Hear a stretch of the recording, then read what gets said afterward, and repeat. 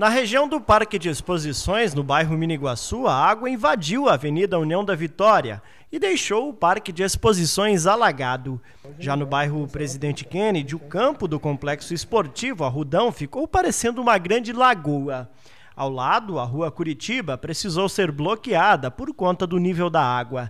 No bairro Luther King, moradores registraram essa casa sendo levada pela correnteza. A casa saiu desse local ao lado das obras de contenção às cheias. Ela não possuía móveis nem moradores porque já havia sido interditada pela prefeitura.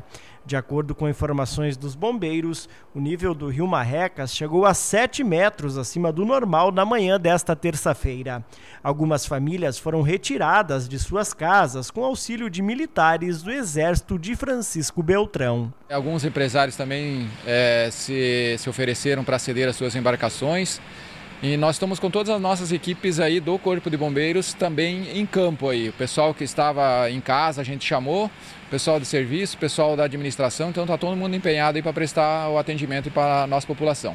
A prefeitura montou esse abrigo no pavilhão do bairro Cristo Rei, onde estão sendo levadas as famílias que precisaram ser retiradas de suas casas. A gente orienta para que as pessoas é, que forem cruzar com seus veículos em locais alagados, que estejam alagados nas ruas, tomem muito cuidado, verifiquem aí as reais condições do local, se é possível ou não passar. Nós já fizemos alguns resgates aí de, de, de pessoas que ficaram dentro dos veículos, foi passar e a água estava muito alta e o veículo acabou apagando. E aí a pessoa se apavorou e não conseguiu mais sair de lá.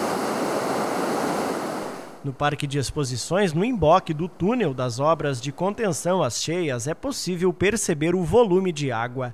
De acordo com o CIMEPAR, o volume de chuva em Francisco Beltrão chegou a mais de 100 milímetros somente nas últimas 24 horas.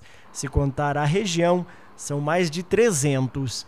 De acordo com a administração municipal, não fosse as obras do túnel, que ainda opera com 30% da capacidade, as consequências seriam bem piores. A montante choveu a 300, 300 milímetros, 320, desde Flor da Serra.